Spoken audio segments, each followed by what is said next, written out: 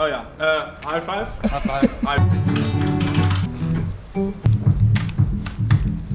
Thank you so much for commenting and uh, give me some suggestions uh, for the next YouTube video. And uh, so here we are. Uh, one really stood out to me, and that was the question like, how do you write songs and where do you start? That's a question that gets asked a lot. So um, today I'm joining my buddy, Mr. Slow, producer in The Hague, in his studio, and we're gonna write a song and. Please.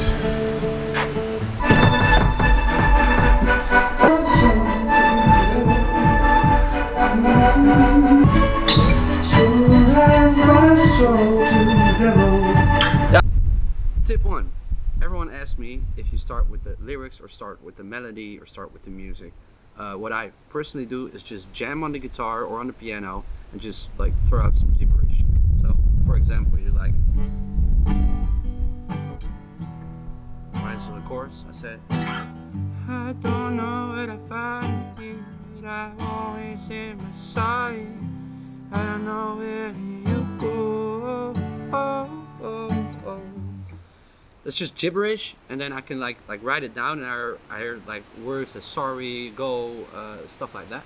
And uh, you do that all the time on repeat on your uh, recording device, whatever, on your phone, and then you listen back to it, and you do that for hours, and just see what sticks.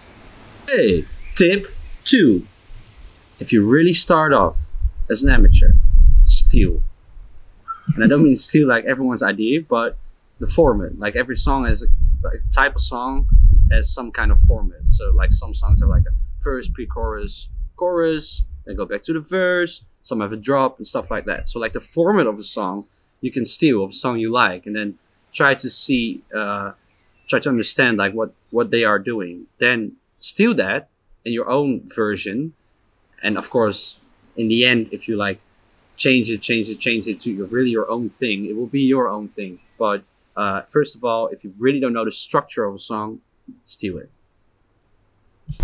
Tip three: um, a concept. What is it about? Like eighty percent of all the songs are about love, but you can put it in like a different way. Um, and what's really important about that is the phrases you use uh, and the words you use. I mean, like, uh, ain't no sunshine till she's gone. I mean, like, that says it all, and it says it in a perfect way, not like she's perfect or whatever. No, ain't no sunshine when she's gone. I used to do, and sometimes still do, is when I see, I don't know, some interesting word somewhere, I just write it down. And I have that sheet with all these words, and then I'm like, all right, that could be something interesting.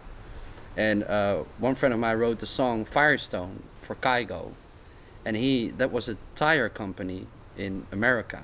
He he was driving on the road. He saw Firestone tires, and he just it stuck with his mind. four. rhyming, um, rhyming. You have all kinds of structures to do it. You can you can make make the first sentence rhyme on the second one, and and so on. Or you can do the first uh, rhyme, uh, first sentence rhymes on the third one, and so on. Uh, does it really have to rhyme? No. In my opinion, no, it doesn't. It really has to do with the sound of the words. Um, but I you yeah I'm used to combine those those different rhyme schemes actually, and uh, for example, like my last uh, my last song was uh, narcotic, and I use different kind of rhymes, and one one of my favorites is a near rhyme that sounds like the word, but it's not actually a rhyme. I Never took that pill against my will. There was a void I had to fill. You thought would understand. Tip Five. If you're a singer songwriter and you're not taking seriously, buy a hat, grab your guitar, and play at the corner of the street.